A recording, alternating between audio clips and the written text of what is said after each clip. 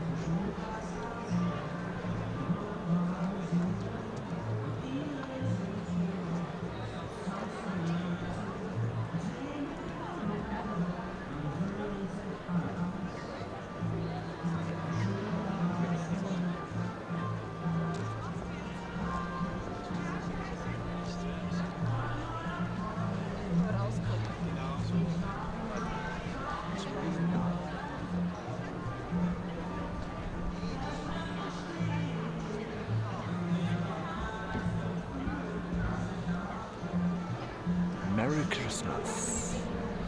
Schauen Sie einfach mal vorbei.